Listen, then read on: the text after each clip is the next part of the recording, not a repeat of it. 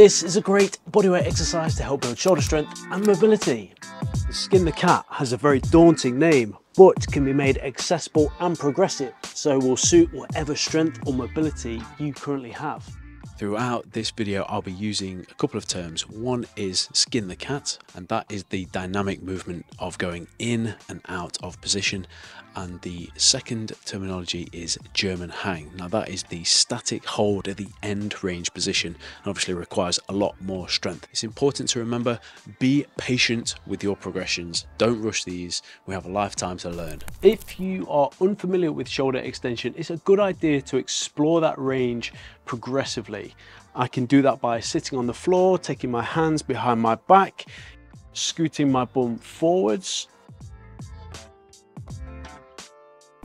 If you have access to rings or TRX straps, we can take hold of the rings and step through and give ourselves a little bit of light exposure to shoulder extension. Because our body weight remains the same, we can then increase the amount of load by changing the angle of which we are exposing ourselves. It's important that we avoid pain. If you're looking for a dedicated follow along shoulder mobility exercise video, I will leave a link here. The rings are a fantastic way for us to learn the movement because by their very nature they move and it means we're less reliant on our shoulder mobility. They're also amazing because they allow us to pass through the center rather than moving around a fixed bar. I've got my weight in my feet and I'm in a passive hang position. That means I'm not trying to create any mechanical tension through the shoulders. I'm just basically hanging out. Through here, I go into an active hang position. So thinking about pulling my shoulder blades down and away from my ears, keeping my weight straight below the bar. I can then kick up into position and hold. Thinking about keeping a nice tight ball. Remember, Things which have a smaller lever length will rotate faster and it's a lot less challenging through the shoulders. So I can drive up through one leg, knees tight, and I can come back down. Something really important to think about is that we want to be in control throughout the full range of motion. We don't want to be throwing ourselves into end range positions. Your shoulders will not thank you for that. It's really important that we build up progressively, whether we're just doing a quarter rep, a half rep, and gradually exposing ourselves to more and more stimulus through the shoulders. Again, I'm not trying to find any pain. I'm just exploring these positions. Passive hang, active hang, kicking up and then as I get more confident, I can start to allow myself to come over the top. Now, as I start to go over the top, I'm gonna spot the ground, reach out with my foot, second foot, and then I can gradually allow myself to sit into this position. From here, I can then step out. As you start to build more confidence in these positions, you can smoothly start to bring all these elements together.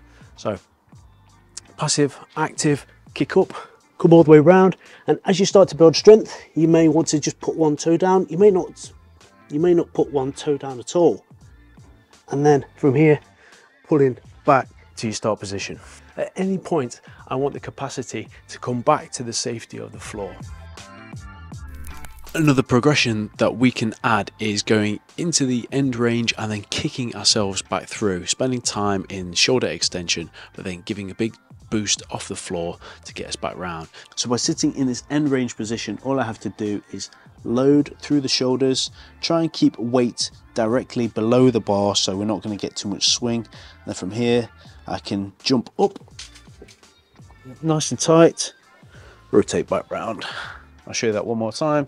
So stepping through, into this end range position, sinking down, feel that weight into my shoulders. Again, I'm trying not to kick from here because what will happen is I'll end up, I'll end up swinging.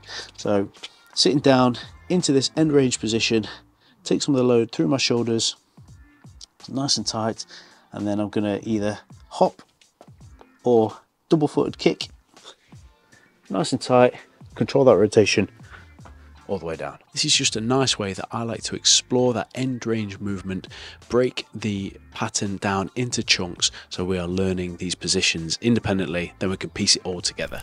It's a good idea before we move on to the high bar that we use something that is fixed but is still quite low to the ground so we're not putting ourselves in a dangerous or precarious predicament you'll see that these aren't quite right or quite high enough for what I'm trying to do, but it just gives you an idea what you can experiment with and get used to that movement before making things more challenging.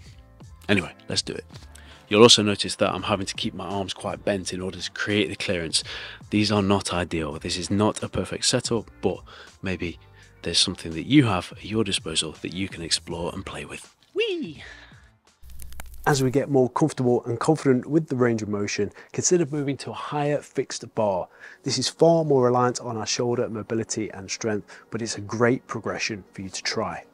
The same coaching cues apply, Think about going from passive hang to active hang, knees tight and tucked, pulling yourself through and round. Again, at any point, I want the capacity to pull myself back. It's a German hang if we have it. Knees tucked and tight, pull yourself back round and down. This is obviously a lot more challenging for the shoulder range and strength because the bar's fixed. Knees tight and tucked, rotate round. Remember, at any point, I want the capacity to come out of this position to keep myself nice and safe and strong. Keep it tight, and then if I have it, extend, German hang, tight, pull myself back round and through. There's a great quote, and it goes something like, We don't stop playing as we grow old, we grow old because we stop playing. And this is what this exercise does for me. It keeps me playful, it keeps me moving, and we can often relate to seeing kids hanging from monkey bars, swinging upside down. And I encourage you to incorporate something like this. It combines that strength and mobility that we need as we get older. Have a go, keep it fun, keep it progressive, keep it safe, and if you want to check out any further videos, the YouTube algorithm thinks you'll enjoy this video next. Go on, give it a click.